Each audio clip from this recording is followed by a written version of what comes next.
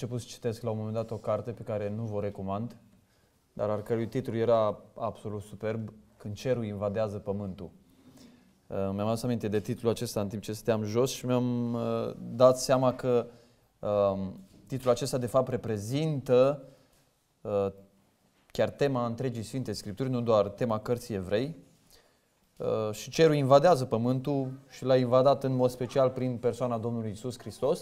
Și asta face prima parte din Cartea Evrei, care până la capitolul uh, 11, uh, în mod foarte clar, condensat, uh, ne-a arătat cum Dumnezeu a lucrat mântuirea noastră în persoana Domnului Isus Hristos.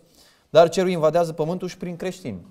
Uh, adică când este predicată Evanghelia, Evanghelia Împărăției, Evanghelia Cerului pe pământ, cerul invadează pământul. Când această Evanghelie aduce mântuire și viața cerească a Domnului Isus Hristos în oameni, cerul invadează pământul. Când Evanghelia transformă trăirea creștinilor, cerul a invadat pământul. Da? Felul în care cerul invadează pământul uh, este prin acest, da, este prin miracolul, despre asta era cartea respectivă, uh, dar cel mai mare miracol este miracolul mântuirii, când viața de înviere a Domnului Isus Hristos este turnată în sufletele noastre și noi morți în greșelile și în păcatele noastre, suntem aduși la viață.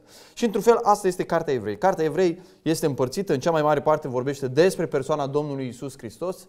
Cea mai mare secțiune din Cartea Evrei este dată uh, pentru a demonstra superioritatea Domnului Isus Hristos, într-un mod special în relație cu iudaismul, cu vechiul legământ, cu umbrele uh, din acea dispensație. Iar a doua parte se adresează credincioșilor. Deci vorbește despre Hristos, și despre cei care au crezut în Domnul Isus Hristos, despre credincioși.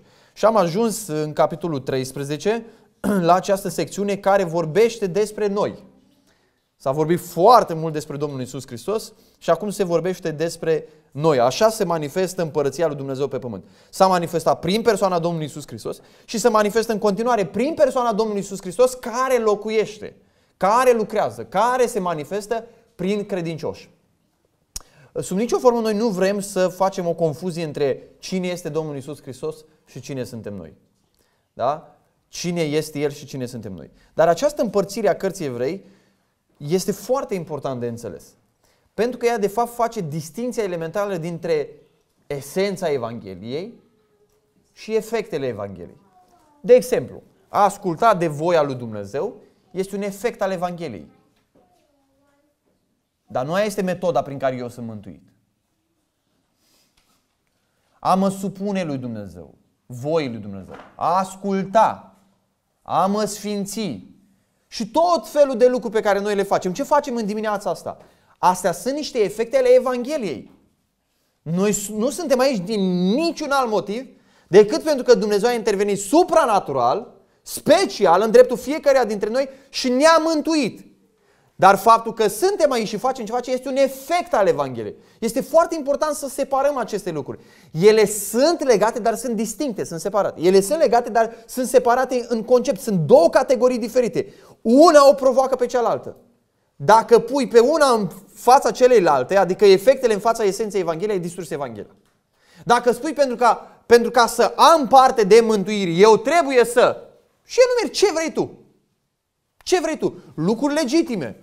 Trebuie să mă botez, trebuie să vin 30 de ani la adunare, trebuie să mă rog, trebuie să ascult atâtea preți.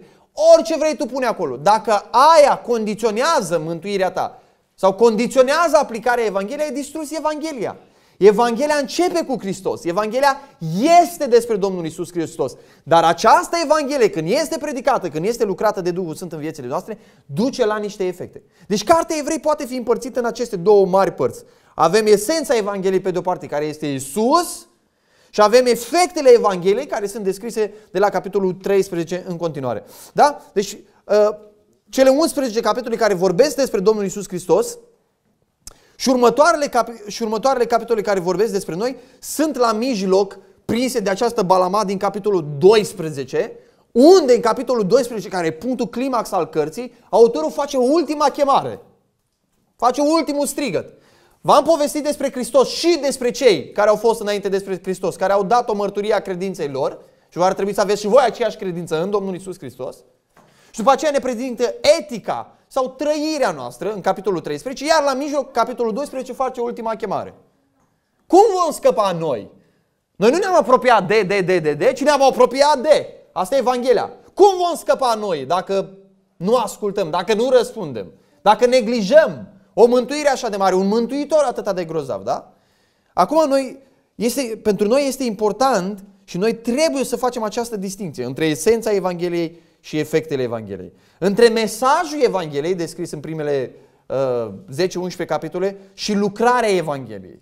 Mesajul Evangheliei și lucrarea Evangheliei. Ce face Evanghelia în viața noastră. Între credință și fapte. În primele capitole asta ți se cere. Să crezi în Domnul Isus Hristos. Vezi că în capitolul 13 se schimbă registrul. Se cere să faci anumite lucruri. Nu mai spune, e suficient să crezi. Nu, nu este suficient să credem. Să știți, nu este suficient să credem. Ca să fim mântuiți, trebuie să credem și să ne pocăim în Domnul Isus Hristos. Dar nu este suficient. Sola fide nu înseamnă că această credință mântuitoare în Domnul Isus rămâne singură. Noi am crezut, e suficient să crezi. Dacă crezi, ești în regulă. Nu contează ce fapte faci. Nu este adevărat. Credința adevărată, credința mântuitoare este și o credință sfințitoare. În primele capitole se descrie o credință mântuitoare, să crezi în Domnul Isus, să te încrezi în El, să-L iei pentru tine, să-L îmbrățișezi și în capitolul 13 se descrie o credință sfințitoare, adică știi că ai o credință mântuitoare dacă credința aceea ta este și una care produce sfințirea, da? Cu alte cuvinte, primele capitole vorbesc despre Hristos, capitolul 13 vorbește despre noi. Primele capitole prezintă aspectul obiectiv, mai este numit în teologie aspectul obiectiv al mântuirii. Ceea ce Dumnezeu a făcut în Domnul Isus Hristos și este clar. Iar capitolul 13 ne vorbește despre aspectul subiectiv care privește experiența noastră. Cum noi trăim efectele Evangheliei în viața noastră. Da? Primele capitole vizează în mod special justificarea care ne este dată prin lucrarea Domnului Isus Hristos. Suntem declarați neprihăniți, socotiți neprihăniți. Noi nu suntem făcuți neprihăniți total, perfect, dar suntem declarați neprihăniți în baza jertfei Domnului Isus Hristos. Capitolul 13 ne vorbește mai degrabă despre sfințire, nu despre justificare. Da? În primele capitole avem lucrarea lui Dumnezeu. În capitolul 13 se spune că există și o lucrare care este a lui Dumnezeu, dar care este și a noastră. Noi trebuie să facem lucrarea. Trebuie să ne luptăm pentru ele, da? Primul capitol, în primele capitole, lucrarea Domnului Isus Hristos, care este făcută pentru noi, ne are pe noi ca pasiv. Noi nu am făcut nimic acolo. Niciunul dintre noi nu ne-am zbătut ca Domnul Isus să facă ispășire pentru toate păcatele. Niciunul dintre noi nu l-am ajutat să se ducă în locul preasfânt și să fie acceptat de Dumnezeu.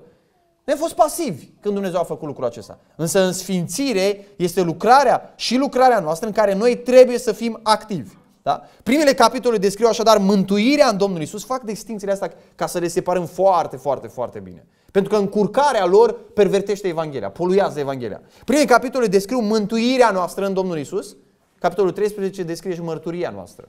Vom vedea că este un efect, ceva exterior, ceva care este demonstrat în afară când sunt mântuiți. Da? Primele capitole descriu poziția noastră cerească. Noi suntem așezați cu Hristos în locurile cerești. Prin mântuirea pe care ne-a dat-o, noi suntem uniți cu El și înaintea lui Dumnezeu suntem văzuți în Hristos.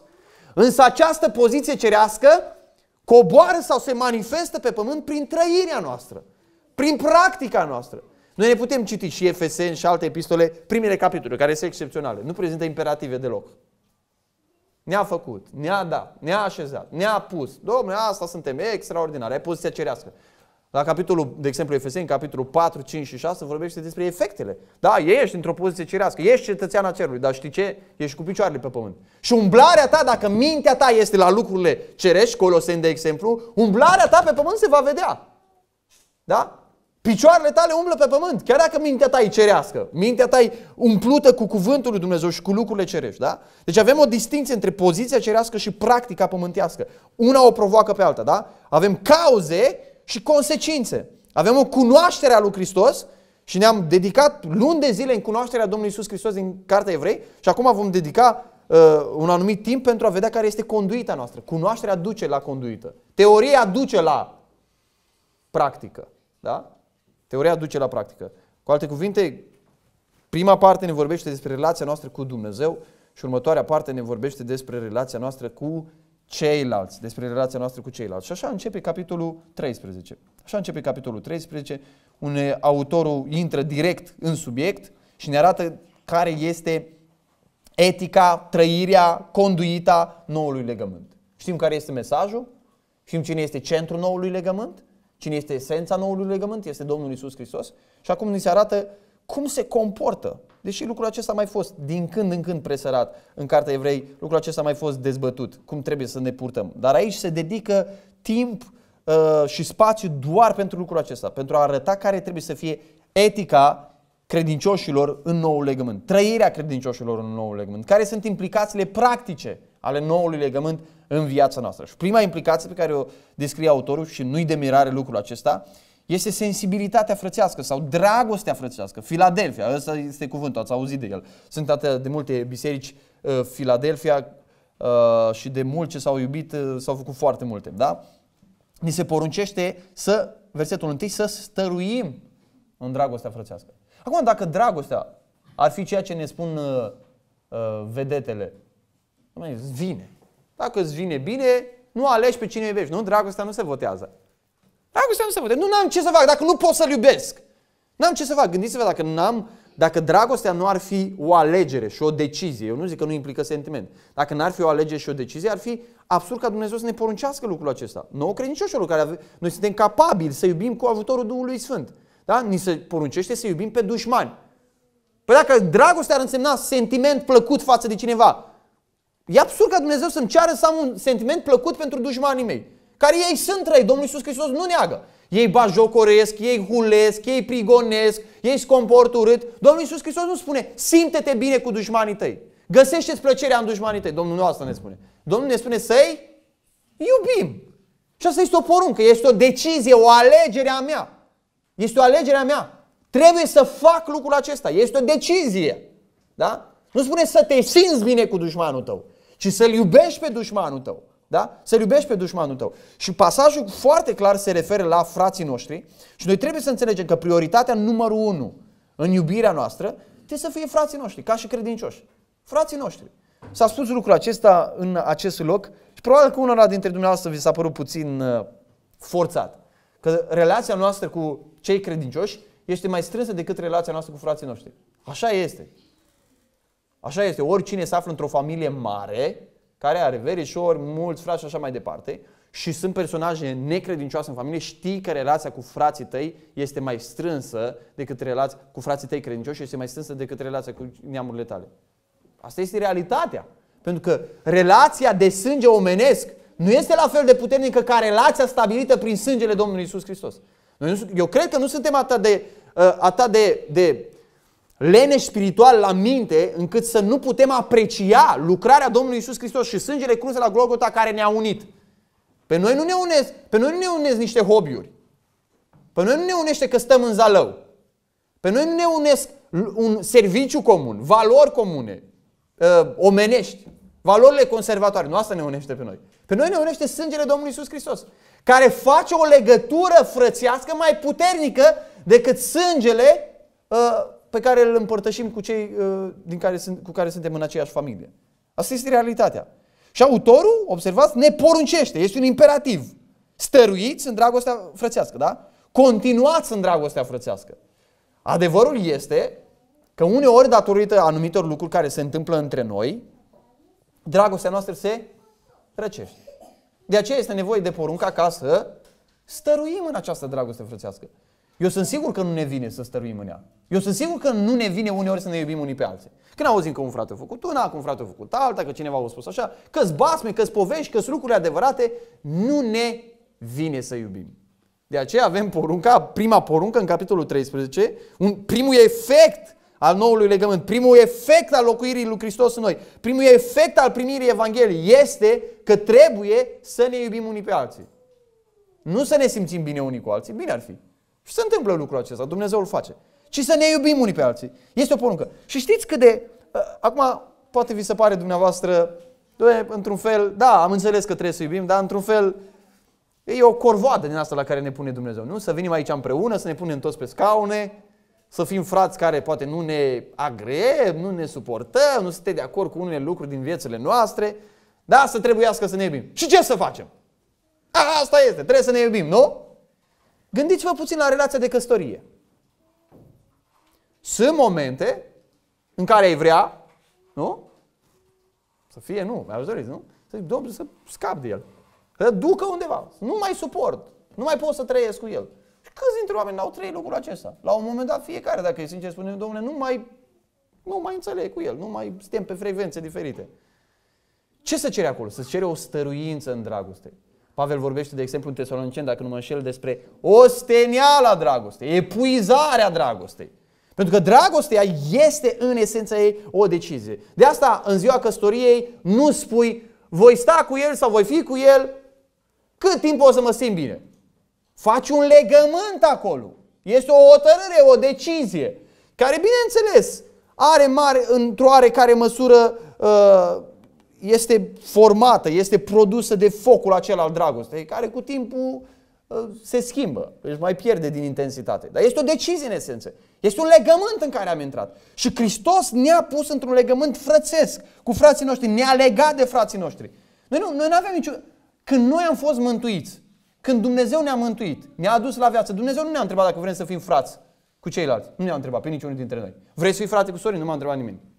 Dumnezeu mi-a spus, bă, fii atent, că peste atâția număr de ani vei fi acolo. Și vei fi după aia în alt loc și va trebui să, fii, să stai cu frații acolo atâția ani. Nu m-a întrebat niciodată Domnul Isus. Nu mi-a cerut părerea. M-a pus în familia asta, m-a pus în comunitatea asta, m-a pus în adunarea lui, în trupul Domnului Isus Hristos și mi-a poruncit să iubesc pe toți frații Domnului. Pentru care El și-a dat sângele. Așa trebuie să privim lucrul acesta. Așa trebuie să-l privim. Uneori ne se pare că mai ușor să iubim pe cei din lume. Nu vi se pare? Avem prieteni din lume pe care ne, mai, ne se pare că mai ușor să iubim pe ei. Și zice că nu trăim cu ei. De așa, că nu trăim cu ei. Nu avem o viață a comunității cu ei. Și da, dacă ar fi să-ți iei persoane cu care să împărtășești anumite hobby-uri și zici, bă, ne întâlnim când practicăm lucrul ăsta care ne place la amândoi. Da, e ușor de trăit așa. Ușor de trăit așa. Dacă trebuie să trăiești într-o comunitate în care vezi și alea bune și alea rele, acest singurul mod de a supraviețui acolo este să înțelegi că dragostea este o poruncă. Este o poruncă, este o decizie. Da, este o decizie. Deci care e măsura iubirii care ni se cere? Spune să stăruim în dragostea frățească, să continuăm, da? Constant, pentru totdeauna. Uitați-vă care sunt manifestările acestei iubiri. Manifestările acestei iubiri sunt descrise prin două categorii de oameni spre care trebuie să se ducă dragostea noastră. Prima categorie sunt frații aflați în libertate, da? dar care sunt străini. Zice așa, să nu dați uitării primirea de oaspeți și termenul aici este uh, filoxenia, care înseamnă dragoste, Filadelfia, dragoste de frați, că e filo și adelfos înseamnă frate, dragoste de frați și filoxenia înseamnă dragoste de străini. Asta este cuvântul original. Dragoste de străini. Să iubești pe frații tăi care sunt străini, care au nevoie de găzduire. De asta autorul traduce aici să nu dați uităre uh, primirea de oaspeți. Se referă să iubești pe cei care sunt străini în călătorie și care au nevoie de găzduire. La asta se referă, da? Deci frați liberi, că după aceea vorbește despre frații legați. Deci autorul vorbește prima dată aici despre a ne găzdui unii pe alții, de, de a ne primi unii pe alții în casele noastre. Și acum aș dedica puțin timp la chestiunea asta și aș extrapola principiul acesta. Dacă noi în vremuri de pace, de liniște, de confort și în cazul multora dintre noi de lux, nu practicăm primirea de oaspeți, ce vă face pe dumneavoastră să credeți că vom practica această primire de oaspeți când va fi persecuție? Vă mai întreb o dată. Dacă noi în vremuri de pace nu ne sinchisim să facem parte fraților noștri de belșugul caselor noastre, în vremuri de pace dacă nu facem lucrul ăsta, ce vă face să credeți că deodată să va turna în noi dragostea de oaspeți în moment de persecuție? Ce vă face să credeți că se va întâmpla lucrul ăsta? Nu se va întâmpla. Nu se va întâmpla. Eu știu că e mai ușor astăzi. Eu am trăit lucrul ăsta, eu am făcut lucrul ăsta să trimitem oamenii la un restaurant, să mănânce acolo, din două motive. Unul, pentru că oamenii au tot felul de obiceiuri personale și acolo toată lumea, sau așa ar trebui să se poarte cu atenție, da? Și doi, pentru că noi avem anumite lucruri personale și un anumit spațiu intim în care nu vrem ca ceilalți să intre, nu vrem să-l invadeze. Acum, nu mă înțelegeți greșit, am mâncat la restaurant, implică o cheltuială financiară, da? care de multe ori este costisitoare, foarte costisitoare. Este și un obicei cultural, e și mai ușor pentru noi, e și mai ușor pentru celălalt. Eu nu despre asta vorbesc. Este ceva de apreciat, e ceva frumos, e minunat. Eu vorbesc despre cazuri și autorul vorbește despre cazuri în care oamenii au nevoie de găzduire. Și noi preferăm mai degrabă să ducem să-l izolăm undeva. Să lăsăm singur undeva, da? Să lăsăm singur undeva. Uh, eu personal am experimentat lucrul acesta Momente în care a trebuit să primim sau să primesc pe cineva cu care nu aveam prea multe lucruri în comun. Și au existat momente penibile în discuție. Știți cum e? Stai cu nu mai știi ce să spui, nu. Îți vine să inventezi tot felul de subiecte, mai întrebi de mașini, de nu mai știu ce, de... Nu știi, știți cum se duc momentele penibile? Dacă sunt frați în Domnul, discutând despre Domnul Isus Hristos. Și dacă El nu spune nimic, ai spui numai tu până pleacă. Și ai încheiat discuția. Nu dacă sunt frați în Domnul Isus Hristos. Eu cu frații credincioși în Domnul Isus, cu care am foarte puține uh, uh, subiecte în comun, foarte puține subiecte și lucruri în comun, foarte uh, puține, dar cu care am discutat despre Domnul Isus Hristos. Frați credincioși, adevărați. Nu m-am plictisit niciodată. Nu m-am săturat niciodată. Și ar trebui să păstrăm în centrul părtășirilor noastre și a găzduirilor noastre persoana Domnului Isus Hristos. Că El ne-a făcut frați. El ne-a făcut frați. Și adevărul este, da, că uneori suntem poate așa de sensibili și de simandicoși și de avem așa obiceiurile noastre și suntem așa de sclifosiți câteodată în public că fraților noștri le-ar fi groază să ne invite la ei acasă. Că nu știu, când intri deja, intri în fibrilație, știți cum se dă telefonul, vine fratele cu tare pe la noi. Și nevasta o ia razda. Ei gata, scoate aspiratorul, toți, tărăboiul de pe lume acolo. De ce? Pentru că știe că vine cineva. Altă dată, dacă vine altcineva, vine fratele cu tare, lasă domnule că știe și el cum e să fie tărăboi în casă. Și îl primește cu drag, așa cum e pe acolo, frate, uite la noi așa, soră, nu-i niciun fel de problemă, ne punem la masă, bem un ceai sau mâncăm o ferie de pâine, discutăm și suntem bucuroși și fericiți. Dar adevărul este că unii frați, se, nu zic din adunare, în general, unii frați se poartă atât de simandicoși și atât de sensibil, încât ți groază să, numai la gândul că va trebui să stai jumătate de oră cu el acasă. Și ai vrea să plece din casa ta, nu că nu-l iubești, și că e prea simandicos. Da? E prea special. El trăiește într-o altă lume iluzorie al, a lui. Uh, zilele acestea am sunat cu fratele Mihai, pe toți cei care s-au înscris la conferința din noiembrie. Și una din întrebările pe care le-am pus uh, este dacă ar putea să împărtășească camera unui frate cu altcineva. Adică dacă vine un, un băiat să stea cu alt băiat tânăr, da? o fată să stea cu altă fată. Sau dacă vin două să împărtășească aceeași cameră. În unanimitate. Toți au spus, frate, nu este niciun fel de problemă. Niciun fel de problemă. Unul dintre ei chiar ne-a spus, la un moment dat nu mi-am dat seama ce vrea să spună, dar am înțeles pe urmă, unul dintre ei ne-a spus, frate, poți să ne trimiți la o familie de bătrâni. Adică omul a spus, domnule, n-am nicio pretenție, trimite-mă unde vrei, tu că bătrâni, că tine, trimite-mă unde bătrâni. Nu am nevoie să stau cu niște tineri numai ca să stau să mă hilizez cu ei și să mă distrez, să mă simt bine acasă la ei. Asta este o atitudine creștinească. Asta este o atitudine creștinească, da? Oameni care au înțeles ce este găzuirea și oameni care au înțeles ce înseamnă să fii frate. Ce înseamnă să fii frate cu celălalt, da? Frate prin Domnul uh, Isus Hristos. Și este un lucru extraordinar, frații mei, să facem parte fraților noștri de locul în care noi ne simțim cel mai confortabil. Locul intimității noastre, locul în care mâncăm, locul în care dormim, locul în care ne petrecem momentele de liniște. Asta este o dragoste creștinească, da? Este o dragoste creștinească. Eu am rămas profumar ca de-a lungul timpului de felul în care m-au primit unii frați în țară. Oameni care nu m-au văzut în viața lor. Recent am văzut o, o singură dată, m-am întâlnit cu o persoană, a stat, nu știu, vreo oră pe la noi, a plecat și ne-au dat apartamentul lor în care să stăm cu familia cât timp ei au fost plecați din oraș. Au vrut să ne primească acolo, dar ei nu erau. Și ne-au dat apartamentul să-l folosim. Păi tu știi ce o să fac eu acolo. Oameni care dau un credit datorită Domnului Isus Hristos. Ei nu cunosc viața noastră. Și ne-au lăsat să stăm în casa lor câteva zile. Da? Asta este dragoste creștinească. Sau mulți, mulți alți oameni care ne-au invitat, să spun, domnule, veniți. Dacă treceți vreodată, nu cumva să ne ocoliți. Să veniți la noi, vrem să vă invităm, da? Nu doar să-i primești, au venit, acum ce să facem? Le dăm! Asta e. Ci să fie ceva din partea ta, ceva din inima ta. Aș vrea să-l găzduiesc pe fratele meu. Îl invit eu pe fratele meu în casa mea. Vreau să-i fac parte de locul acesta pe care Dumnezeu uh, mi l-a dat.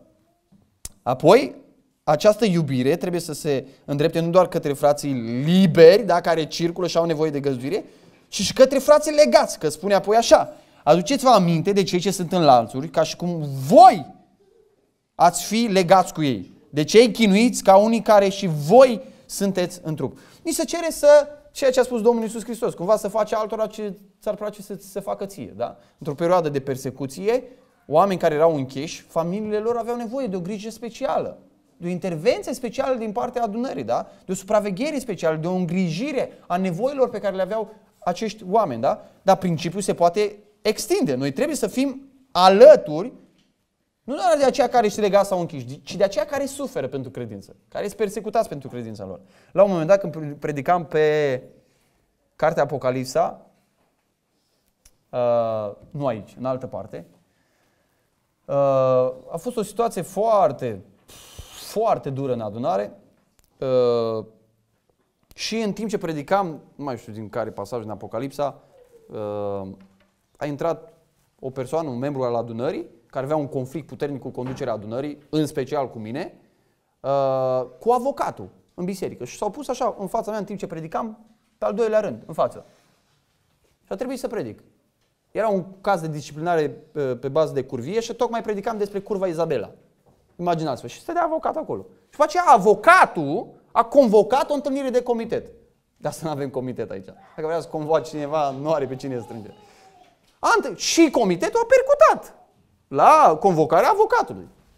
Și acolo avocatul mi-a dat o lecție foarte serioasă despre ce înseamnă consilierea creștină, acoperirea păcatului, dragostea pentru păcătoși și așa mai departe și mi-a pus pe masă o citație dată în judecată pentru felul în care am tratat o persoană care trăia în păcat în biserică.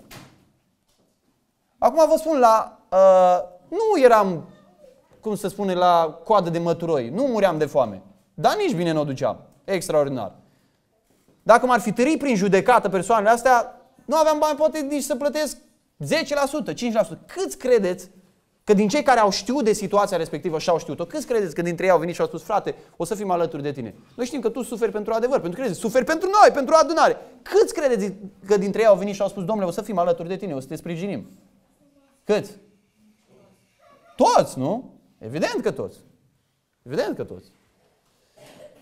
Va veni, eu cred că va veni și în țara la noi curând vremea în care vom suferi legal în felul acesta. Și noi va trebui să avem această sensibilitate. Poate nu veți plăti fiecare dintre dumneavoastră, dar o să plătească alții. Și noi ar trebui să avem sensibilitate pentru oamenii aceștia. Să-i apărăm, să-i susținem. Da? Zice să ne arătăm dragostea pentru oamenii ăștia ca și cum noi am fi legați cu ei, ca și cum eu aș fi acolo prins. Doamne, eu nu sunt legat, dar pot să fac ceva pentru el. Poate legal, juridic, financiar, pot să mă intervin, pot să mă implic, va veni vremea. Și în alte locuri din lume sunt situații din felul acesta. Și bisericii îi se cere să gândească ca și cum eu aș fi acolo. Ca și cum bărbatul meu ar fi acolo, ca și cum soțul meu ar fi acolo, ca și cum soția mea ar fi acolo, ca și cum fata mea ar fi acolo, ca și cum eu însumi ar fi acolo. Și dacă aș face totul pentru ei ca să fie liberi, da? Ar trebui să fac totul pentru cei ai mei, ar trebui să fac totul pentru cei care sunt frați de-ai mei în credință. Chiar mă gândeam în timp ce se ruga fratele Mihai pentru cei persecutați, cât de ignorant sunt. Știu pe fundal că în China se suferă și că sunt dărâmate biserici și că s-au aruncat sute de credincioși în închinare. Știu că în Corea de Nord se întâmplă lucrul acesta. Știu că în țările musulmane sunt decapitați în continuu pentru... pentru... Dar cumva uit cumva e undeva departe, nu e aproape de noi, deși poți să ajungem câteva ore acolo. E undeva, domnule, e altă lume, poate, parcă cumva e în alt viac, nu e concomitent cu noi. Și lucrul ăsta se întâmplă astăzi, frați și surori. Și se întâmplă astăzi în această Europa uh, democrată, liberă, când oameni sunt persecutați pentru credința lor, sunt închiși pentru credința lor, plătesc amenzi usturătoare pentru credința lor. Dar noi trebuie să fim conștienți de lucrul acesta și să ne pregătim. Dacă v-ați pus bani deoparte, să știți pentru ce vi-a pus. Că o să vină vremea când o să trebuiască să-i folosim. Pentru frații noștri. Pentru frații noștri. Să ne gândim ca și cum noi am fi acolo. Al doilea aspect etic pe care îl tratează apostolul pentru, pe lângă sensibilitatea aceasta ă, frățească este sfințenia conjugală.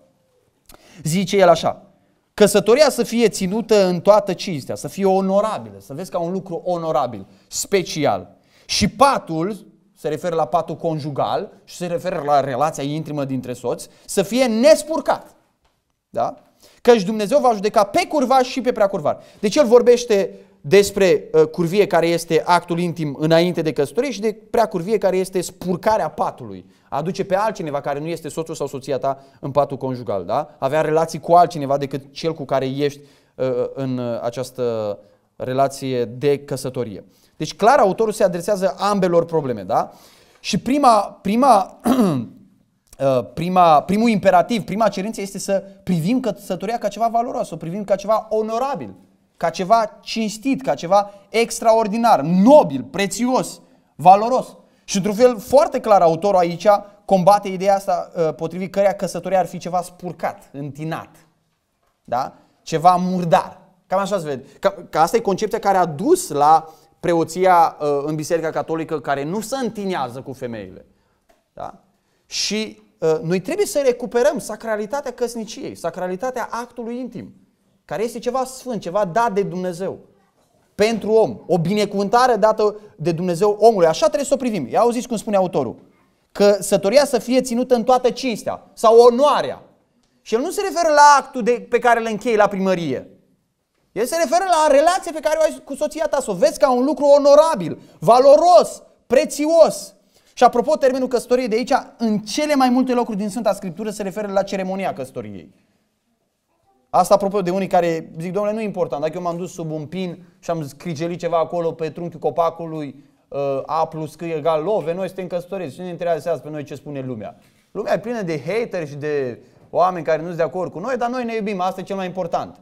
În contextul evrei și în contextul în care scrie autorul căsătoria, încheierea căsătoriei, ceremonia căsătoriei, era o chestiune foarte importantă. Da? Trebuia acceptată social trebuia primită social. Da? Se vorbește despre căsătoria mielului cu mireasa lui, care folosește exact același termen. Și apoi vorbește despre patul care trebuie să fie nespurcat și în mod foarte clar se referă aici la patul conjugal, la relația intimă dintre soț și soție și din păcate ă, ăsta este un subiect tabu. Acum eu nu cred că ar trebui să devenim atât de exhibiționiști și să ne facem, dacă vreți să fim foarte populari pe internet, trebuie să începem să predicăm despre sex și despre relația dintre soț și soție. Dar nu ăsta e scopul. Dar nici să ne ducem într-o extremă și să lăsăm cumva senzația că ar fi ceva ceva murdar, care Dumnezeu ne-a lăsat că asta este, așa ne-a făcut, ne l-a lăsat așa, să trece de la Dumnezeu cumva. Nu este, este o binecuvântare lăsată de Dumnezeu. El a atașat-o căsătoriei. Da? Este un dar de la Dumnezeu, trebuie privită onorabil. Da? Trebuie privită onorabil. Pavel spune chiar,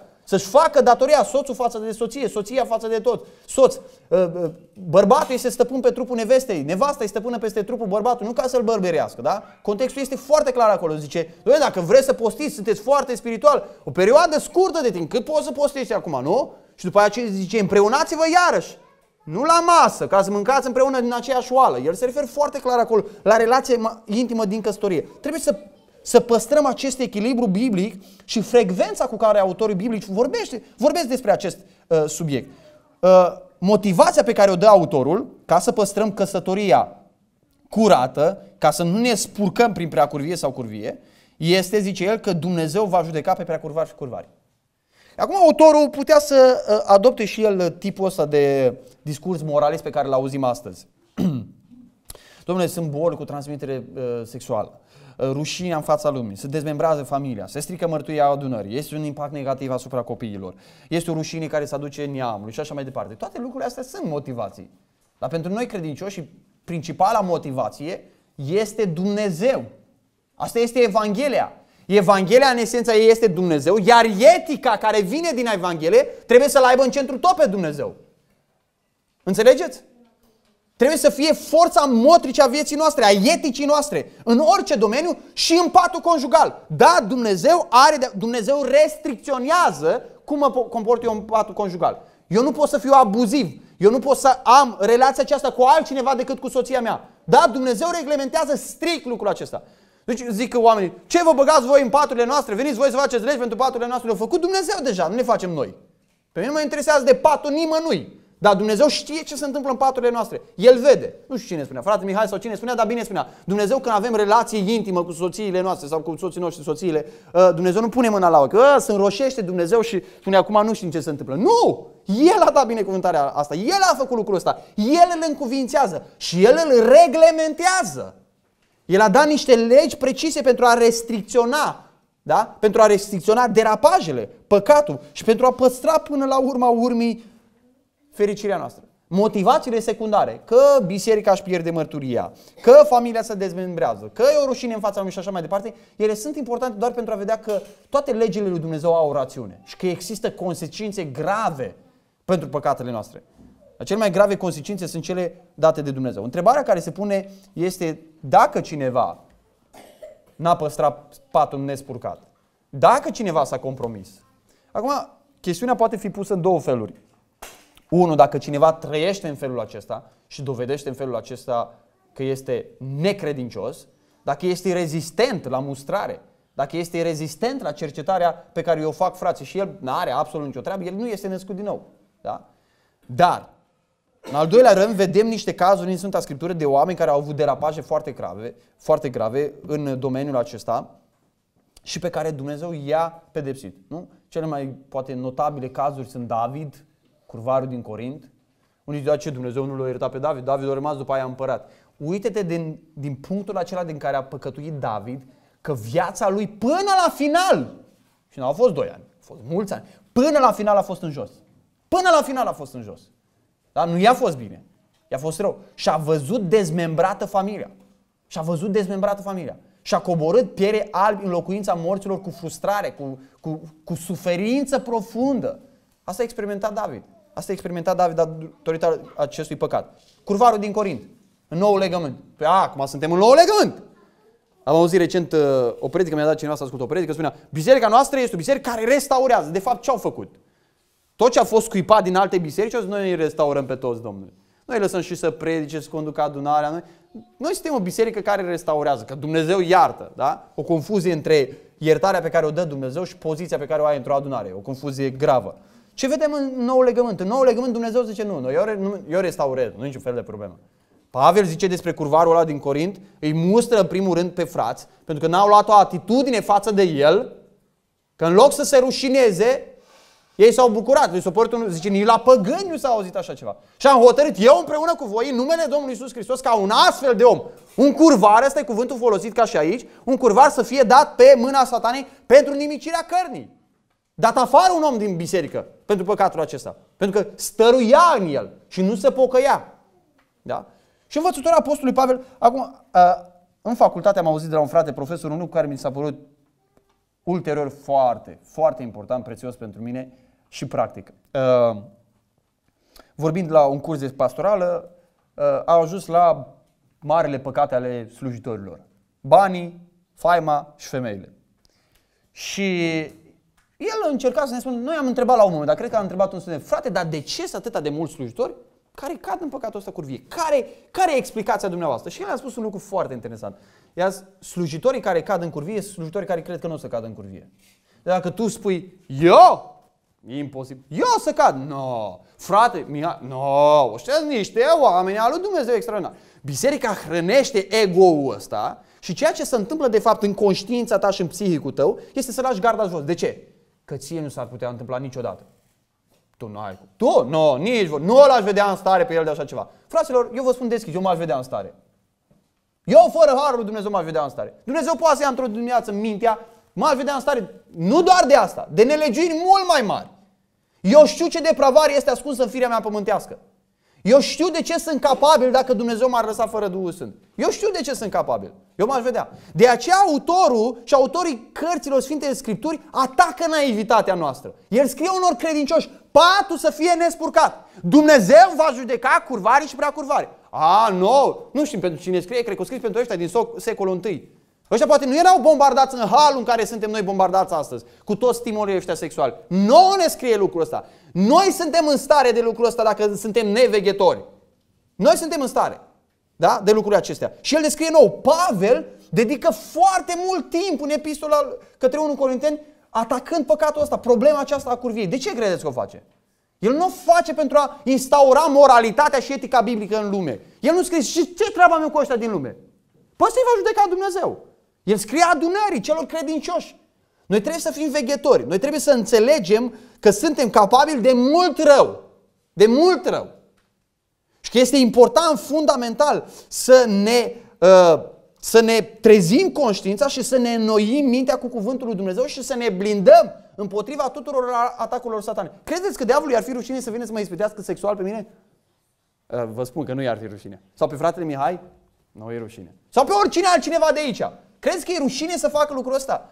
Diavolul nu e atât de pervers și de parșiv încât cu cât e mai sfânt un copil al lui Dumnezeu, cu atâta să-l atace mai tare, ca să-l distrugă mai tare. Pentru că cu cât mai mulți oameni să uită la el și îl văd ca un model, cu atât mai mult va fi suferința, dezamăgirea când el va prăbuși un asemenea om. Nu că își va pierde mântuirea. Dar mărturia stricat odată nu mai repare nici după zeci de ani. nici după zeci de ani. Și lucrul ăsta e foarte, foarte uh, ușor demonstrabil, în, în special la bisericile de la sate. O trebuie să treacă două, trei generații ca oamenii să nu mai spună poveștile pe care le-au spus despre unii și alții. Nu avem nicio credibilitate biserica, nicio credibilitate. Uitați, vă citesc câteva lucruri pe care le spune Pavel referitor la lucrul acesta. El le spune în primul rând, de exemplu, în Corinteni, că cei nedrepți, și pe aia spune, nici curvari, nici închinătorii nu vor moșteni împărăția lui Dumnezeu. Așa îți spune să te aperi împotriva acestui păcat. Gândește clar că cine este în felul acesta nu va moșteni împărăția lui Dumnezeu. Nu va moșteni împărăția lui Dumnezeu. Doi, el previne lucrul acesta arătând că există o înșelare cu privire la acest păcat. El zice așa, nu vă înșelați în privința aceasta. De ce spune nu vă înșelați? Cel mai probabil pentru că erau unii care înșelau în privința aceasta. Nici curvarii, nici închinătorii la idol, nici prea curvare, nici malahii, nici sodomiții, nici hoții, nici celacum, nici bețivii, nici defăimători, nici răpăreții. Cei care sunt așa, da? Nu care fac, uh, care au anumite derapaje, poate, da? Nu vor moșteni împărăția lui Dumnezeu.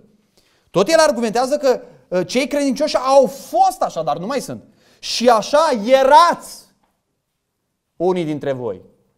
Deci noi nu spunem că un curvar, un preacurvar, un sodomit, un malac și așa mai departe nu au iertare. Dar că există o schimbare și noi trebuie să le vedem pe toate lucrurile acestea ca la trecut, da? Ca fiind de mult apuse din viața noastră. Apoi el spune că motivul pentru care nu mai suntem așa și ca erați așa unii dintre voi, zice, în felul următor. Dar ați fost spălați, ați fost sfințiți, ați fost socotiți, neprihăniți în numele Domnului Isus Hristos și prin Dumnezeul nostru. A existat o trans... Eram așa, dar noi am experimentat înnoirea, justificarea, spălarea nașterii din nou pe care a făcut-o Duhul Sfânt în viețile noastre. De asta nu mai suntem așa. Și eu trebuie să atac păcatul acesta în viața mea cu această convingere că am fost spălat, sfințit, îndreptățit. Apoi e foarte interesant, arată că întreaga Sfântă Treime este la lucru pentru a preveni tipul acesta de păcate. Spune așa, ați fost spălați, sfințiți în numele Domnului Isus Hristos prin Duhul Dumnezeului nostru. Toată Sfânta Treime este la lucru în viața noastră pentru a ne proteja, a ne ajuta să facem față unor asemenea păcate. El vorbește apoi despre aspectul acesta trupesc al păcatului curviei și spune că atunci când folosim trupul nostru pentru curvie, uh, îl folosim împotriva ceea ce a fost el creat zice, pentru, de Dumnezeu, zice mâncărurile sunt pentru pântece, pântecele este pentru mâncări și Dumnezeu va nimici și pe unul și pe alta și pe celelalte. Dar trupul nu este pentru curvie. El este pentru Domnul și Domnul este pentru trup, nu zice pentru suflet. Noi avem de multe ori lucrăm cu filozofia asta platonică, așa schizofrenizăm uh, și uh, uh, accentuăm și exagerăm distinția dintre suflet și trup și uităm că Scriptura ne arată foarte clar că trupul nostru este pentru Dumnezeu. Și Hristos este pentru trupul nostru. El se folosește de el. Și ni se cere în Roman, de exemplu, să ne dăm mădularele noastre în slujba neprihănirii. Trupul nostru în slujba neprihănirii, da? El este al Domnului. Apoi spune că aceste trupuri trebuie să le privim prin perspectiva proslăvirii. Dumnezeu care a înviat pe Domnul ne va învia și pe noi cu puterea sa. În contextul curviei spune asta. Nu folosi trupul la curviei, că Dumnezeu nu va învia un trup a unui curvar pentru a-l aduce veșnic în împărăția lui. Nu va face lucrul acesta. Nu folosiți trupul pentru curvie. De ce un creștin nu poate curvi? Nu doar că trupul lui, nu doar că sufletul lui este unit cu Hristos, da? Ci și trupul lui, zice, este unit prin mântuire cu Domnul Isus Hristos. Nu știți că trupurile voastre sunt mădulare ale lui Hristos? Noi ne manifestăm ca mădulare ale Domnului Isus Hristos și trupește. Pavel nu spune sufletul vostru a fost făcut templul Duhului Sfânt, ci Pavel spune trupul vostru a fost făcut templul Duhului Sfânt. Da? Voi lua eu mădularele lui Hristos și voi face din ele mădularea unei curve. Vedeți cum luptă Pavel împotriva acestui păcat. Mădularul meu, ochii mei, mintea mea, capul meu, mâinile mele, picioarele mele, tot trupul meu este a Domnului Isus Hristos. Eu nu pot să iau mădularul acesta care trebuie să-L slujească pe Hristos și să-L fac, spune el, să-L unesc cu mădularele unei curve. Da? Unirea cu Domnul Isus Hristos este incompatibilă cu imoralitatea sexuală. Nu știți că cel ce se lipește de o curvă este un singur trup cu ea? Că ce este zis, cei doi se vor face un singur trup. Dar cine se lipește de Domnul este un singur duh cu el. Da? Este ceva spiritual care se întâmplă.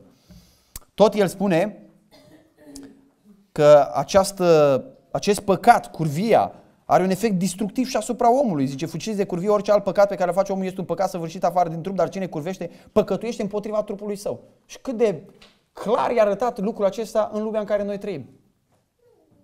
Să fac, să investesc sute de milioane de euro pentru medicamente care sunt furnizate pentru boli care sunt prin transmitere sexuală. Și zic, domnule, asta mi se pare o absurditate totală. Eu zic, domnule, să plătim, să se ia din fondurile statului ca să plătim pentru toți nelegiuiștii ăștia. Deci ei educă ca să fie nelegiuiți și după aceea ne pune să-i plătim. Ok, ei ne-au educat copiii noștri să fie niște nelegiuiți, depravați, niște curvari, da? să aibă intimitate sexuală înainte de căsătorie, cu oricine vor ei și după aceea trebuie să plătim pentru treaba asta. Trebuie să plătim pentru treaba asta. Dacă lumea asta ar accepta moralitatea și etica creștină, nu Evanghelia, etica și moralitatea creștină, ceea ce s-a întâmplat în unele zone din lume, societăți întregi au acceptat moralitatea și etica creștină. Eu n-ar trebui să mă duc eu să plătesc pentru curviile altuia. E treaba lui să facă lucrul ăsta, nu? Nu ar trebui să plătesc eu. Dar este atât de răspândită, este, sunt atât de, de răspândite bolile acestea regate de păcatele acestea, de imoralitate, încât să cere o susținere din partea statului. Bani pe care statul ia de la noi. Dar dacă ei ar respecta etica noastră, nu ar avea problemele astea, da? Este un efect asupra trupului. Oamenii vor să păcătuiască fără consecințe și investesc sute de miliarde de euro, de dolari pentru a uh, ține în frâu consecințele păcatului. Și nu reușesc să facă lucrul acesta, pentru că Dumnezeu a stabilit niște legi după care funcționează lumea asta. Da? Nu știți că trupul vostru este templul Duhului Sfânt? Înțelegeți ce spune Pavel aici, în contextul curviei? Voi lua eu ceea ce este intenționat de Dumnezeu să fie templul Duhului Sfânt în care să locuiască Dumnezeu. Voi lua eu lucrul ăsta și să-l transform într-un sanctuar idolatru al poftei sexuale? Dumnezeu a hotărât ca trupul meu să fie templu, sanctuar unde locuiește și se manifestă uh, Duhul Sfânt. Și ultimul lucru pe care vreau, de care vreau să mă ating în această dimineață este a treia poruncă, al treilea domeniu etic de care vorbește autorul, și anume iubirea de bani. Să nu fiți iubitori de bani. Mulțumiți-vă cu ce aveți. Că și însuși El a zis, nici de cum n-am să te las, cu niciun chim nu te vei părăsi. Acum, dacă stăm să ne gândim puțin, fiecare dintre noi, nu de aici începând pe acolo, avem lucruri pe care vrem să le facem, să ne le cumpărăm. Vrem mai mulți bani, nu? Dacă stai să te gândești bine, ți-ar strica dacă ți-ar mări salariul? Nu ți-ar strica, nu? Nu ți-ar strica. Ai niște planuri, ai niște gânduri, ai vrea niște bani. Însă iubirea de bani despre care vorbește Sfânta Scriptură și ne vom uita imediat din nou la Apostolul Pavel. Iubirea de bani despre care vorbește Sfânta Scriptură este felul acela de a prețui banul care se arată, arată că e păgubos, că e vicios, că e rău, că e păcătos prin faptul că afectează poruncile pe care Dumnezeu ți le-a dat. Afectează conduita pe care Dumnezeu ți-a cerut să o ai, da? Simplu spus. Dacă eu trebuie să muncesc atâta de mult încât n-am timp de rugăciune, n-am timp de citirea cuvântului, n-am timp ca în restul săptămânii, în momentele uh, care nu sunt ca acestea, n-am timp să mă întâlnesc cu frații mei, n-am timp să vorbesc cu ei. Trecem ca rachetele unii pe lângă alții. De ce? Nu avem timp. De ce? Trebuie să muncim. Frate, trebuie să câștigăm o bucată de pâine. Sărmanul de tine. Trebuia să-mi spui că îți trimiteam eu pâinea aia. Dacă pentru asta alergi, n-ai pâine pe masă, spunem că îți trimitem noi, domnule. Stai o leacă mai liniștit. Să pun și eu o felii de pâine pe masă la pruncii mei. Sigur pentru asta te spetești. Da? Deci în momentul în care implicarea noastră în muncă, implicarea noastră pentru câștigarea banului afectează relația mea cu Dumnezeu, relația cu cuvântul, relația cu rugăciunea, relația cu părtășia cu frații, da? afectează felul în care dăruiesc. Eu nu pot să dau niciodată încât să mă doară. Eu nu pot să dau niciodată încât să intru în economiile mele. Atunci este o problemă. Acolo este vorba despre iubire de bani. Uh, și iubirea de bani poate să se înceapă de aici, de la Amvon, la cel care predică, până la ultimul om. Până la ultimul om. Acum, ca fapt de vers, dacă aș vrea să câștig bani în religie, credeți-mă că știu toate metodele prin care se pot face bani foarte frumoși. Foarte frumoși. Asta apropo. Uh, de ce să iubiți banii? Acum nimeni nu stă, eu, eu sper că nimeni nu stă acasă cu dolari sau cu euroi, să uită la el. Face, aia e tată viață și mai o dată și mai face și mai o dată. Ăștia, bă, ce bine arată banii ăștia. Nimeni nu face treaba asta. De ce sunt iubiți banii? Banii sunt iubiți pentru ceea ce pot oferi. Banii nu sunt iubiți în ei înșiși, da? Că Biblia, când spune iubirea de bani, Biblia nu se referă că stai și te uiți la bani, ce plac monedele astea. Nu! Banii sunt iubiți pentru ceea ce pot oferi. De, de fapt, iubirea de bani descoperă și trădează alte iubiri ascunse. Dacă iubesc luxul, ce îmi poate da uh, lux? Banii. Dacă iubesc prosperitatea, ce îmi poate da prosperitate? Banii. Dacă iubesc mâncarea bună, ce îmi poate da mâncare bună? Banii. Dacă iubesc o casă luxoasă, ce îmi poate da casa luxoasă? Banii. Deci iubirea banilor, de fapt, descoperă, trădează alte iubiri ascunse ale inimii noastre. Da? Le scot în, în afară. Da? Banii pot oferi lucrurile pe care nu le ai și după care tânjești. Da? Și autorul spune că în contextul acesta, al viciului acesta, a iubirii de bani, centrală este mulțumirea. Spune el, nu, iubi, nu fiți iubitori de bani, da? E a treia oară când se vorbește despre iubire aici. Se vorbește despre iubirea fraților, despre iubirea stră, străinilor, acum se vorbește despre iubirea banilor. În contextul acela el spune că fatal pentru iubirea de bani este ce? Mulțumirea. Mulțumiți-vă cu ce aveți, da? Și eu cred că suveranitatea lui Dumnezeu și providența lui meticuloasă are un rol esențial în lucrul acesta. De ce Domnul zice așa, la un moment dat, Matei 10 cu 29, nu se vând doar două vrăbii la un ban? Lucruri minuscule, minore, neimportant, nesemnificative pentru noi. Totuși niciuna din ele nu cade pe pământ fără voia Tatălui vostru.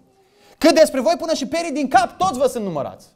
Adică Dumnezeu este într-un asemenea control a vieții noastre că El va, va face să câștig cât vrea El, cum vrea El, unde vrea El. Eu, nu pot, eu trebuie să mă mulțumesc cu felul în care Dumnezeu a rânduit lucrurile. Să accept providența, suveranitatea meticuloasă, totală a Dumnezeu asupra tuturor lucrurilor. Oricât te-ai zbate la un moment dat, dacă Dumnezeu a rânduit un lucru, nu poți să schimbi nimic în privința aceasta, da? De asta spune, mulțumiți-vă cu ce aveți. Și adevărul este că dacă nu ești mulțumit, dacă nu ai mulțumire, virusul ăsta spiritual al nemulțumirei te umple de îngrijorare.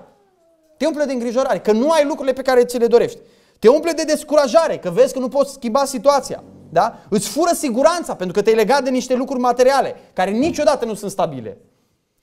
Îți sabotează credința pentru că Dumnezeu își cere ca siguranța ta să fie nu pentru față de lucrurile materiale, da? Să stea în lucrurile materiale, ci în Dumnezeu care dă toate lucrurile. Îți îmbolnăvește ă, trupul. Este demonstrat nemulțumirea, frustrarea, îngrijorarea. Ne mănâncă pe dinăuntru. Ne soarce de viață pe dinăuntru, ne distrug, ne distrug trupurile, da? Duce la invidie. Dacă nu-ți mulțumi cu ce am, mă uit la altul care are exact ce aș vrea eu. Și mor și mă frământ. Și invidia să se împrăștie și în adunare. Da? Duce la compromis. Trebuie să fac ceva ca să am și eu. Și încep să te compromiți. Da? Duce la frustrare împotriva lui Dumnezeu. Că vrei, vrei, vrei, faci orice. Muncești mai mult și nu primești. Da? Și ești frustrat. De ce Dumnezeu la ăla i-a dat așa? La ăla i-a dat altfel. Pentru că Dumnezeu nu-i comunist de aia. Da? Te face să transformi religia în ceva mercantil și sunt o grămadă de predicatori. Dacă vii la biserică, dacă dai, dacă faci asta, Dumnezeu o să-ți dea și El. Super, îmi place religia asta. Asta face nemulțumirea. Te plonjează într-o grămadă de alte vicii și de păcate, da? Te transformă într-o persoană respingătoare, nesuferită nemulțumirea. Vă place să stați lângă oameni nemulțumiți? Care totdeauna încerc să plângă. N-am mai, n-am mai, n-am mai, n-am mai, n-am mai, n-am mai, n-am mai, mi-a dorit aia, aia e greu. Îți place să stai lângă persoanele astea? Nu! Evident că nu. Evident că nu. Da? Și pe unii îi transformă și în milogi, evident. Dar textul ne spune nu doar că mulțumirea este centrală în relație cu iubirea de bani, cu acest păcat, da? ci și că ea trebuie cultivată. Cum? Cum cultivi mulțumirea? Am spus de multe ori și vă mai spun și acum. Nu, nu ni se cere niciodată yoga. Stau așa, în... stai frate în meditație, liniștit și spune nu vreau să am o casă mai bună. Nu vreau să am o mașină mai bună. Nu vreau să mănânc mai bine. Nu vreau să fiu îmbrăcat mai bine. Nu mai vreau, gata. Puh, s-a rezolvat. Nu se întâmplă asta așa. Scriptura arată că felul în care este hrănită mulțumirea, hrana mulțumirii, da? mulțumirea care este uh, medicamentul pentru iubirea de bani, este cuvântul lui Dumnezeu, căci El însuși a zis. Adică ca să nu mai iubești, să nu mai fii corupt de iubirea lucrurilor materiale și să fii mulțumit, Uită-te în cuvântul lui Dumnezeu, hrănește-te cu cuvântul lui Dumnezeu. Și el ne citează o promisiune, nu o poruncă, nu o pedeapsă, ci o promisiune a lui Dumnezeu. Nici de cum n-am să te las, cu niciun chip nu te voi părăsi. Deci știi, îți dai seama că un om uh, are o relație slabă cu cuvântul lui Dumnezeu uitându-te la gradul de mulțumire pe care îl are. Dacă e un om nemulțumit, omul ăla nu se hrănește cu cuvântul lui Dumnezeu. Pentru că cuvântul lui Dumnezeu este plin de promisiuni care ne fac să fim mulțumiți. Mulțumirea se câștigă prin Scriptură, în mod specific prin promisiunile ei. Promisiuni care ne descoperă pe Dumnezeu. Cu alte cuvinte, mulțumirea este un vehicul prin care eu încep să-L contemplu pe Dumnezeu. Cum? Mă mulț- devin mulțumit uitându-mă în cuvântul lui Dumnezeu, la promisiunile lui Dumnezeu. În promisiuni mi se descoperă Dumnezeu. Cu niciun chip n-am să te las. A, de ce eram eu nemulțumit? Că nu eram sigur dacă o să-mi ajungă ceva pentru nu știu când. Că vroiam să-mi iau. Dumnezeu îmi promite că nu o să mă lase. Dumnezeu îmi promite că e alături de mine. Dumnezeu îmi promite că mă însoțește. Dumnezeu îmi promite că cu niciun chip nu mă va părăsi. Da? Mulțumirea se hrănește cu cuvântul lui Dumnezeu și mulțumirea inflamează sau crește credința în Dumnezeu pe care îl vezi în promisiunile lui Dumnezeu. Unde vrei să-L vezi pe Dumnezeu? Simplu, devii mulțumitor când îl vezi pe Dumnezeu. L-auzi pe Dumnezeu, cu niciun chip nu te voi părăsi și devii mulțumit. Dar lucrul ăsta scrie în Biblie. Scrie în Biblie lucrul ăsta. Promisiunile astea sunt în Sfânta Scriptură. Promisiunile lui Dumnezeu sunt afirmarea unor lucruri certe. Pentru că ele sunt legate de Dumnezeu. De aceea ni se cere să le cunoaștem. Da? Să cunoaștem aceste promisiuni. Promisiunile pentru asta sunt intenționate. Să ne atragă ochii asupra lui Dumnezeu, să-L cunoaștem pe Dumnezeu, îl prezintă pe Dumnezeu și în felul acesta să ne dizlipească inima de alte lucruri de care ne agățăm de care ne agățăm nădejdea, credința, siguranța, viitorul, satisfacția, de alte lucruri. Când prin credință te uiți în cuvântul lui Dumnezeu la ceea ce promite Dumnezeu, atunci începi să te legi de Dumnezeu. De Dumnezeu. Și închei cu câteva, uh, un, uh, niște argumente magistrale pe care le folosește Pavel pentru a duce această mulțumire. Zice el în 1 Timotei 6 cu 6 așa, doar le enumerăm. Negreșit e vlavia, neprihănirea, teama de Dumnezeu însoțită de mulțumire este un mare câștig. Deci există câștigul acesta material, dar există ceva care este un mare câștig. Ce? Mulțumirea. Și practic așa este. Sunt oameni care au mult și sunt nemulțumiți și sunt oameni care au puțin și sunt mulțumiți și sunt mai fericiți și sunt mai bucuroși. Doi, el spune în versetul 7, cultivă mulțumirea Pavel prin faptul că arată că noi nu suntem proprietari ultim ai lucrurilor pe care le folosim ca să ne aducă mulțumire. Zice că și noi n-am adus nimic în lume și nici nu putem să luăm cu, nimic, cu noi nimic din asta. trebuie să te bagi într-o depresie profundă. Te muncești, muncești, muncești și deodată n-ai luat nimic cu tine. Pentru ce ai muncit?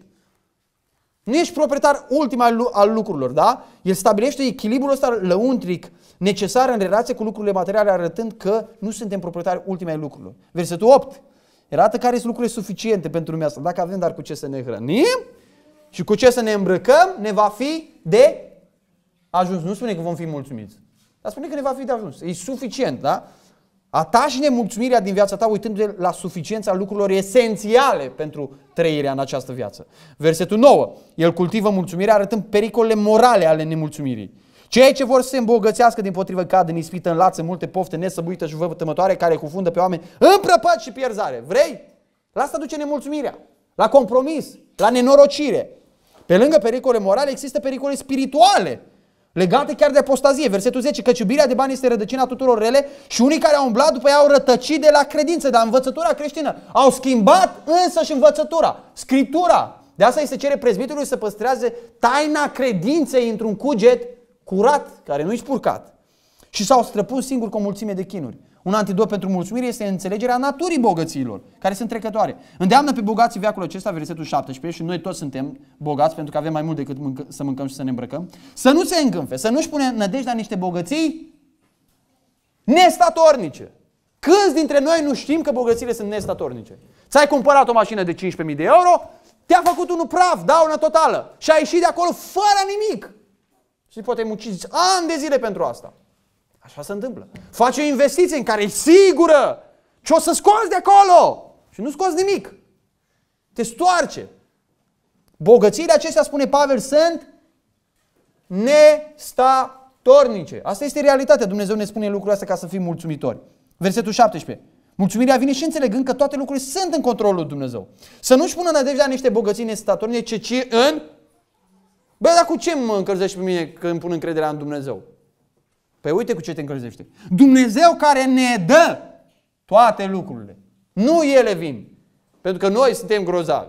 Pentru că noi am muncit nu știu că. Că noi suntem foarte înțelepți. Nu de asta. Dumnezeu ni le dă din belșug, auziți. Din belșug ca să ne bucurăm de ele. Mulțumirea este cultivată și pentru un proces atent de evaluare și consemnarea binecuvântărilor pe care le avem deja. Auziți, Dumnezeu care ne dă toate lucrurile din belșug ca să ne bucurăm de ele, vedeți? Dumnezeu ni le dă și ni le dă ca să ne bucurăm de ele. Făceam cu soția mea recent un calcul pe mașină și am început să luăm așa de o perioadă scurtă de timp sau mai lungă și să începem să enumerăm binecuvântările pe care ne le-a dat Dumnezeu. Și mie mi-e ușor să fac lucrul ăsta. Ca să zic, m-am căsătorit, n-aveam nimic, așa nu-i mult timp, îți văd 5 ani de zile, nu aveam nimic.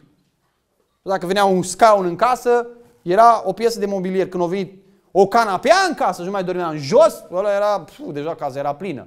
Bine, aveam două camere în care nu era nimic. Da? Înțelegeți de da? Este, intrăm în, în, în iureșul ăsta al vieții cu atâte de multe lucruri că le avem în casă depozitate acolo, cum mai fac un ăștia care se leacă duș și strâng pungi în casă, știți? Pungi, lăzi, tot felul. Noi nu facem un asta, noi facem cu lucruri noi, lucruri bune. Nu avem nevoie de ele, dar tu le punem pe acolo. Mai luăm și aia, mai luăm și aia. Mai... Avem atât de multe lucruri că nu mai putem să numărăm, să evaluăm, să consemnăm binecuvântările pe care Dumnezeu ne le-a dat. Și de asta e bine pentru unii dintre noi. Că Dumnezeu ne-a adus în noroi sau ne duce în noroi ca după aia să poți consemna, tată. Să poți să vezi că dacă ai o oală, e bine că ai o oală. Dacă ai un covor, altă dată nu-l aveai. Dacă ai o masă, altă dată nu aveai. Ai un frigider, altă dată nu-l aveai. Înțelegeți? Nu erau. Astea zice că ne le dă Dumnezeu, așa să stimulează mulțumirea. Consemnezi binecuvântările. Dumnezeu care ne dă toate lucrurile. Care toate lucrurile? Păi toate, care? Începe să le consemnezi, domnule. Să spui, uite, Dumnezeu mi-a dat asta, Dumnezeu mi-a dat. Acum, la unii, așa ca mine, care sunt mai ori, Dumnezeu e, câteodată e, e izbitor. E izbitor, să aruncă noi. Bă, n-ai cum să nu vezi. N-ai cum să nu vezi. Uite ce ți-am dat, uite ce ți-am făcut. N-ai cum să nu consemnezi. Așa se hrănește mulțumirea. Așa se combate materialismul prin mulțumire. Cum se mai combate? Prin dărnicie. Cum se combate mulțumi, uh, materialismul și iubirea de bani prin dărnicie? Ia uitați. Pavel zice, îndeamnă să facă bine, să fie bogați în fapte bune, să fie darnici, gata să simtă împreună cu alții. Știți cum, să, cum devii mulțumitor când dai? Pentru că în momentul când dai, îți dai seama că ai. Iară dai și îți dai seama că ai. Iară dai, ai. Mă, dai, dai, dai. Ai mult. Mai dai o pereche de cizme, care sunt bune. Mai dai un plover, mai dai un cano, nu știu ce mai dai tu. Mai dai niște bani. Mai... Și zic, tot am. Păi de unde le-am? De la Dumnezeu. A, faptul că poți da, presupune că Dumnezeu ți-a dat înainte, că nu dai tu de la tine. Și în final el spune așa, să ai o perspectivă asupra lumii de dincolo. Și felul în care folosești bogățiile acum influențează viața de dincolo. Zice așa, așa ca să strângă pentru vremea viitoare drept o comoară, o bună temolie pentru ca să apuce adevărata viață. Da? Este inutil să ne rugăm, Doamne, mărește-ne credința, că mulți am vrea ca Dumnezeu să ne mărească credința, nu? Dacă noi nu apelăm la cuvântul lui Dumnezeu, care ne prezintă bunătatea lui Dumnezeu, providența lui Dumnezeu, suveranitatea lui Dumnezeu, darurile bogate pe care ne le-a dat Dumnezeu. Da? Sunt trei porunci pe care ni le-a prezentat autorul în această uh, dimineață. Iubirea de frați, da? iubirea de frați, uh, uh, sfințenia în căsătorie, sfințenia conjugală și mulțumirea care este satisfacția de fapt duhovnicească în Dumnezeu, căci El ne-a promis, cu niciun chip n-am să te las. Și dacă ești satisfăcut în Dumnezeu, lucrurile celelalte toate sunt uh, uh, puse în rânduială. Dumnezeu să ne binecuvânteze prin Duhul Sfânt să practicăm efectele noului legământ și ale Evangheliei. Amin.